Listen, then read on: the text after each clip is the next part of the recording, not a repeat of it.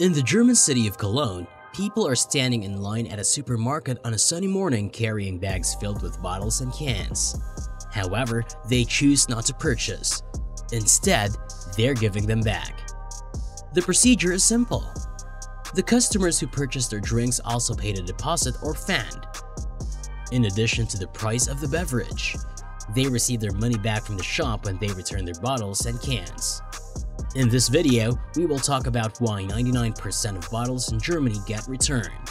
But before that, make sure to subscribe to the channel and hit the bell icon for more amazing content. Let's start the video now without further delay. Customers in Germany follow the bottle deposit program diligently. But how exactly does it operate? Is it a role model that other nations could adopt?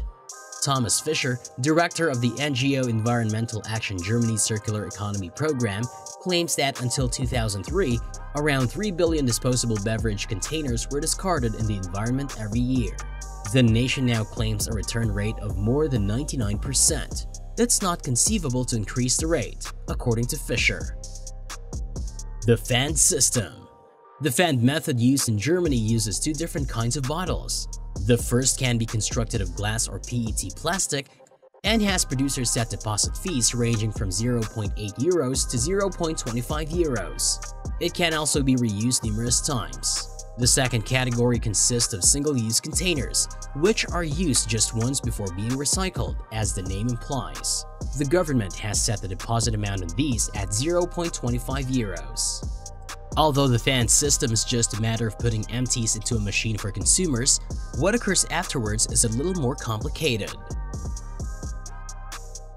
Adventurous Bottles A long trip begins when a refillable bottle of, let's say, cola, is brought back to the store.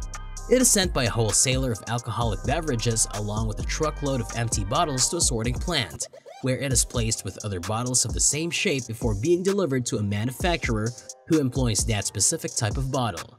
It is cleaned, refilled, and then brought back to a shelf at the store for further purchase there.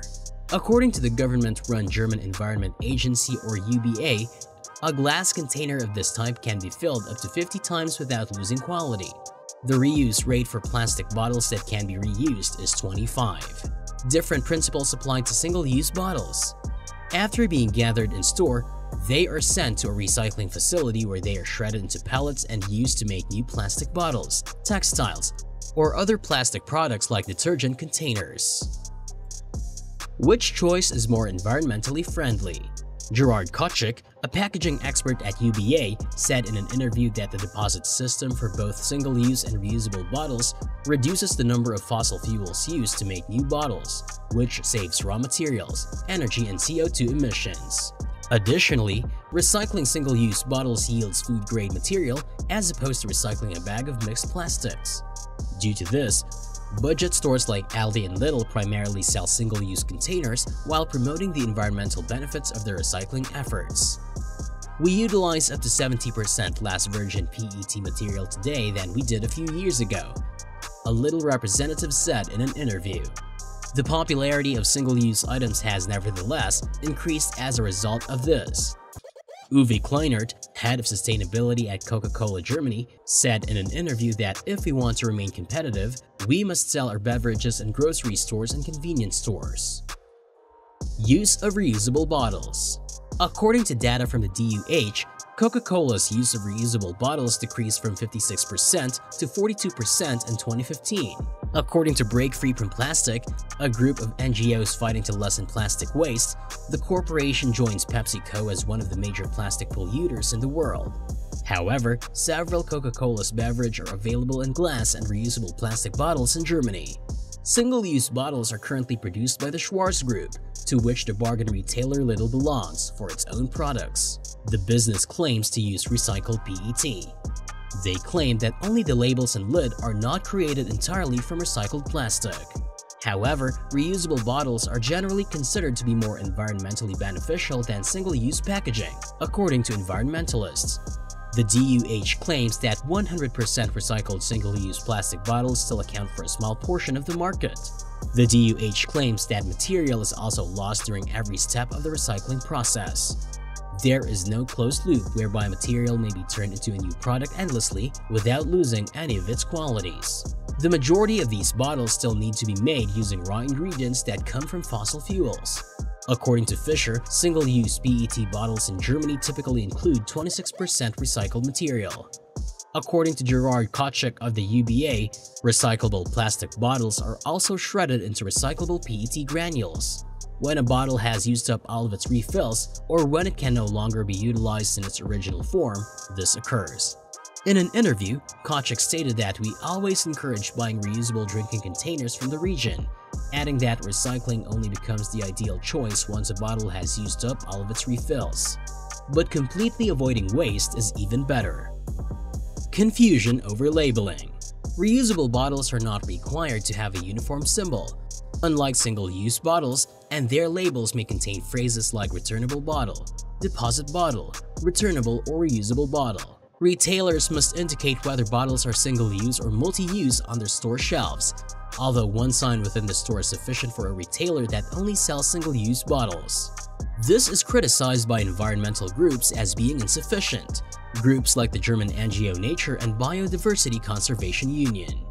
According to a recent survey, 42% of individuals in Germany still believe that all deposit bottles, even single-use bottles, are refilled, even though the majority of customers can now tell whether a bottle is single or multi-use.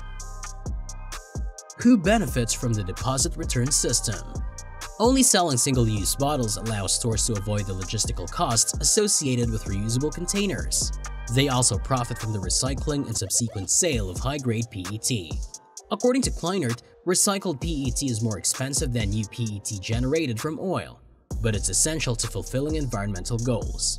Lidl has even formed its own recycling organization as a result of the industry's increasing profitability. Every bottle, according to Fischer, is a gift for low-cost retailers. Unreturned bottles generate the greatest revenues. With 16.4 billion single-use bottles flooding the German beverage market each year, retailers might make up to 180 million euros on the 1.5% that is never taken back. According to Jürgen Zeigner, the head of the ZTG, the German group that represents service stations, businesses that manufacture and fill their own bottles are the one who benefit from single-use empties that aren't returned. Due to the fact that they must pay the 0.25 euro deposit plus 19% value-added tax to goods wholesalers, independent shops and gas stations suffer in this situation. Independent shops and gas stations suffer in this situation. However, clients who purchase a bottle of cola, for example, pay the deposit with the VAT already added. A model for other countries? There is no one solution that works in every country, according to the German state environmental agency UBA, which recommended carefully analyzing each scenario to determine what is most effective.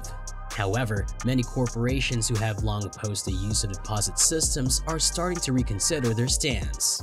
Wouter Vermeulen, senior director of the Coca-Cola Public Policy Center for Europe, spoke to a portal via email saying, we support well-designed industry-owned deposit return schemes across Europe, where no proven successful alternatives exist. Retorna, a Spanish NGO that promotes bottle deposit programs, is led by Cesar Sanchez. By 2029, 90% of plastic bottles must be collected separately for recycling under harsher European regulations on single-use plastics. He predicted that deposit return programs will soon be implemented in Spain and other nations because society is demanding solutions. Environmental organizations are urging the deposit plan to be expanded to cover all forms of glass and carton packaging, including Tetra Paks, even in Germany. These containers might be created for jam or honey, according to Fischer. We want products as well as everything else to be reused. Cited as Britain's model Germany is often cited as the model for Britain's new deposit return scheme or DRS for bottles and cans, which was introduced this week. Germany is known as the recycling world champion, though opinions continue to differ as to whether the program is a case of the half-full or empty bottle, 15 years after its introduction. Additionally, the impact on moving forward with the introduction of genuinely eco-friendly, reusable drink containers has been minimal. Pfand is an extra deposit that you pay when purchasing a bottle or can that is refunded to you when the container is returned to the seller. Reverse vending machines In almost every supermarket in Germany, there are sophisticated reverse vending machines that weigh and scan your bottle in order to compare it to a database of legal forms and sizes. The machine spits your bottle back at you if it isn't on the retailer's list. If they match, the machine sends the bottle down a chute for recycling or shredding and gives you a voucher with a total Pfand, which you may redeem at the register. Reusable, one-way primarily plastic bottles cost more to purchase, often 25 cents than glass bottles, which cost between 8 and 15 cents each. The original rationale for the price differential was twofold. On the other hand, it gave consumers more incentive to recycle plastics that would otherwise trash the environment, on the other hand, the greater cost was intended to deter consumers from buying non-reusable drinking containers in the long run. DRS Success The DRS has been a huge success in terms of the first. In Germany, only 1% to 3% of non-returnable bottles are now not recycled, while recycling rates hover around 99%. This is partly because a vast unofficial sub-economy centered on recycling has developed. Drinks manufacturers are believed to have made more than 3 billion euros or 2.6 billion pounds from bottles that were discarded rather than recycled since the DRS program's implementation. An unexpected profit opportunity given the nickname Pfandschlupf or deposit slip.